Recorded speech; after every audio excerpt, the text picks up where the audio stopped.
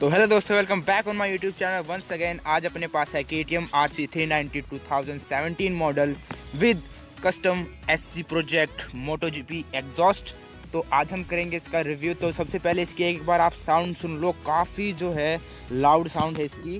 करते हैं इसको स्टार्ट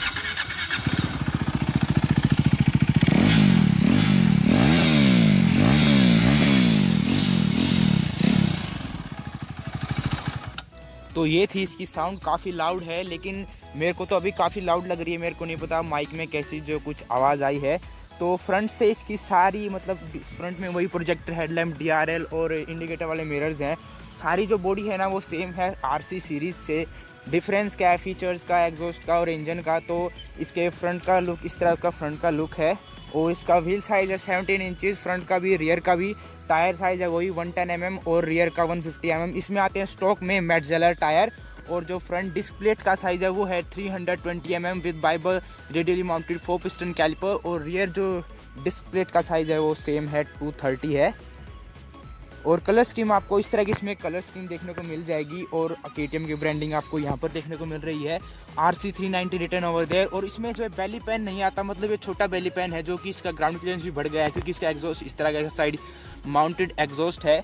तो ये फुल सिस्टम एग्जॉस्ट नहीं है, अभी तो मतलब कट करवा के जो फिट करवा रखा है भाई ने और इसमें आता है ऑरेंज ट्रेलिस फ्रेम तो इस बाइक में अगर इसके इंजन के बारे में बात करते हैं, इसका इंजन है 390 सीसी का single cylinder four valve four stroke इसकी मैक्सिमम पावर है अराउंड चवालीस बी और इसका मैक्सिमम टोर्क आउटपुट है वो सैंतीस न्यूटन मीटर के आसपास है। और इसकी जो टॉप स्पीड है ना, वो मतलब 180 है 185 इतनी इसकी टॉप स्पीड है। और इस इंजन में आपको six speed gear box slipper clutch और राइट बाय वायर टेक्नोलॉजी देखने को मिलेगी। मतलब आप देखते हो थ्रोटल की एक केबल होती है, इसमें कोई केबल वगैरह नहीं है, पूरी सेंसर लगाया मतलब सेंसर से इसका थ्रोटल रिस्पॉन्स काफ़ी अच्छा हो गया है। और स्विच गेयर वही सेम है, और मीटर के भी सारे फीचर सेम है, आपको गेयर पोस्ट इंडिकेटर और ये अभी तो थोड़ा इसमें अपडेट होएगा इस यू इसलिए फेलियर दिखा रहा है। वही फीचर सेम है तो मैं फीचर्स पे ज़्यादा टाइम मैं नहीं ख़राब करता हूँ कि मीटर को आपको पता है, सारे फीचर सारे सेम है। इस तरह के जिसके टैंक के ग्राफिक्स हैं आरसी की ब्रांडिंग आपको यहाँ पर देखने को मिल रही है, जिसकी माइलेज है वो 20 से 25 की आपको माइलेज देखने को मिल जाएगी। और ग्राउंड क्लियरेंस का काफ़ी अच्छा है और इसकी ब्रेक भाई 300 हंड्रेड mm की तो थी, काफ़ी गजब ब्रेक। तो इसकी तो 320 ट्वेंटी mm की डिस्क प्लेट है तो ब्रेक है ना, काफ़ी इसके तगड़े ब्रेक है, ठीक है? और ग्राउंड क्लियरेंस भी काफ़ी अच्छा है और इसका साइड माउंटेड एग्जॉस्ट है तो ये भी अभी तो स्टॉक वाला भी लाउड है, लेकिन ये वाला जो कस्टम एग्जॉस्ट है, इससे भी जो इसकी साउंड है, काफ़ी लाउड है।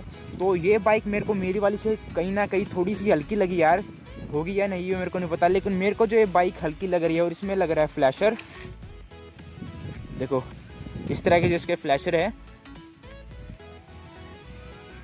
और इस बाइक में सेफ्टी के सेफ्टी फीचर आते हैं डुअल चैनल एबीएस और स्लीपर क्लच मैं बताऊँगा आपको स्लीपर क्लच क्या होता है मतलब आप हाई स्पीड पे हो, चौथे, पाँचवें गेयर में अगर आप एकदम से डाउन शिफ्ट कर दो तो झटका लगता है, जो व्हील एक बार स्लिप हो जाता है ना, वो आपको स्लीपर क्लच में जो देखने को नहीं मिलेगा और तो कुछ या ज़्यादा खास फीचर नहीं है। मतलब मेरे को जल्दी से एक वीडियो बनानी थी जल्दी से और एक इस बाइक की एक प्रॉब्लम है, वो है कि ये हीट है ना, बहुत ज़्यादा हीट होती है। मतलब आप घर से निकलोगे ना 10-15 मिनट में इसके रेडिएटर फ़ैन जो ऑन हो जाएगा तो वो तो यार आप देख लेना, बाइक भी इतनी मतलब बाइक है ना, उड़ती है भाई ये। कहते हैं ना, मौत का कुआ तो आर सी थ्री नाइन्टी वो मौत का कुआ है। बेशुमार पावर, भाई तीन लाख के अंदर इससे अच्छी बाइक नहीं मिलेगी आपको। मतलब ये इसके जो हायर सिबलिंग है 400-500 सीसी वाली बाइक कावासाकी की बाइक उनका भी जो आर सी थ्री टक्कर देती है। रॉयल एनफील्ड तो भाई भूल ही जाओ 650 जो निकाली थी इंटरसेप्टर उस ये तो उसके मतलब वो तो इसके आसपास भी नहीं लगेगी। तो और कुछ ज़्यादा बाइक में है नहीं, वैसे आपने सबने फीचर्स देख ही रखे हैं। तो बस एक छोटी सी वीडियो बनानी थी मैंने एग्जॉस्ट के साथ। करते हैं इस वीडियो को ख़त्म, मिलते हैं एक अगली वीडियो में।